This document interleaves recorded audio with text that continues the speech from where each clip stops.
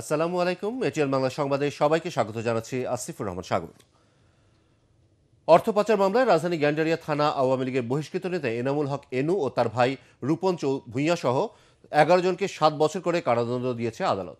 ঢাকার বিশেষ জজ আদালত পাঁচের ভারপ্রাপ্ত বিচারক ইকবাল হোসেন এ রায় দেন। এ সময় মামলার প্রধান দুই অভিযুক্ত সহ ছয়জন এজলাসে উপস্থিত ছিলেন। অভিযোগে উল্লেখ করা হয়, দু হাজার উনিশ সালের চব্বিশে সেপ্টেম্বর ওয়ান্ডারার্স ক্লাবের ক্যাসিনো পরিচালনাকারী এনুর কর্মচারী আবুল কালাম আজাদের ওয়ারির লালমোহন শাহ স্ট্রিটের বাড়ি থেকে বিপুল অঙ্কের টাকা উদ্ধার করে র্যাব। এই ঘটনায় ওই বছরের পঁচিশে নভেম্বর তাদের বিরুদ্ধে ওয়ারি থানায় মামলা দায়ের করা হয়। রাজধানী ধানমন্ডির তেঁতুলতলা মাঠে থানা ভবন নির্মাণের প্রতিবাদ করায় মা ও ছেলেকে থানায় নিয়ে প্রায় তেরো ঘণ্টা আটকে রাখার ঘটনায় আইনি ব্যবস্থা নেওয়ার ঘোষণা দিয়েছেন মানবাধিকার কর্মী ও পরিবেশবাদী সহ বেশ কয়েকটি সংগঠনের সদস্যরা। সকালে ঢাকা রিপোর্টার্স ইউনিটিতে সংবাদ সম্মেলনে তারা এই ঘোষণা দেন। একই সাথে কাঁটা তারে বেড়া খুলে দিয়ে মাঠ উন্মুক্ত করে দেওয়ার দাবি জানান বক্তারা। তারা বলেন, বিনা পরোয়ানায় সৈয়দা রত্না ও তার ছেলেকে থানায় নিয়ে ঘণ্টার পর ঘণ্টা আটকে রাখা বেআইনি। বাংলাদেশ পরিবেশ আইনবিদ বেলার প্রধান নির্বাহী সৈয়দা রিজওয়ানা হাসান মানবাধিকার কর্মী খুশি কবির ও নগরবিদ ইকবাল হাবিব সংবাদ সম্মেলনে অন্যান্যের মধ্যে বক্তব্য রাখেন।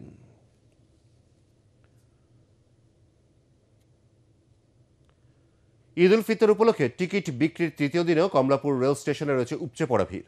ঘণ্টার পর ঘণ্টা অপেক্ষা করেও টিকিট পাচ্ছেন না বেশিরভাগ যাত্রী। আজ দেয়া হচ্ছে উনত্রিশে এপ্রিলের টিকিট।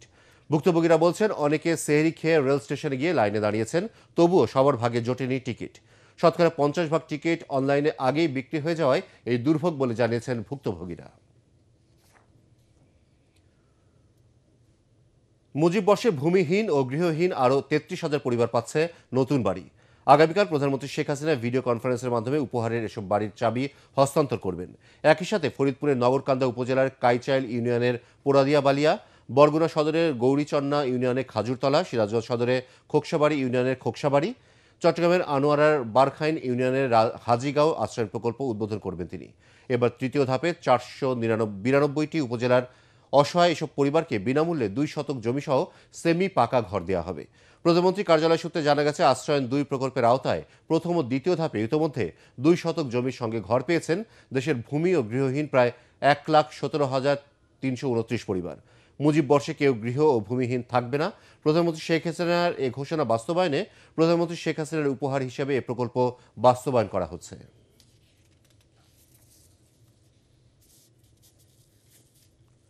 এবার জানিয়ে দেব ইস্পাহানি শেয়ার বাজার সংবাদ।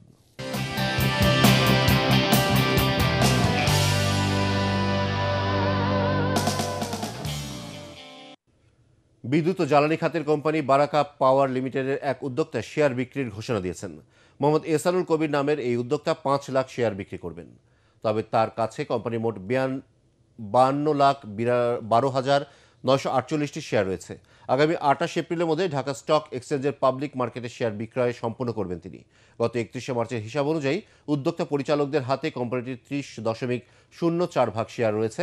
এছাড়া প্রাতিষ্ঠানিক বিনিয়োগকারীদের হাতে সাতাশ দশমিক নয় চার এবং সাধারণ বিনিয়োগকারীদের হাতে রয়েছে বিয়াল্লিশ দশমিক শূন্য দুই শতাংশ শেয়ার পরবর্তী সংবাদ দেখার আমন্ত্রণ জানিয়ে এখনকার মতো শেষ করছি। করোনা ভাইরাস থেকে নিজেকে সুরক্ষিত রাখতে মাস্ক পরুন, বারবার হাত পরিষ্কার করুন। এটিএন বাংলা সংবাদ ইউটিউবে দেখতে ব্রাউজ করুন YouTube slash ATN Bangla news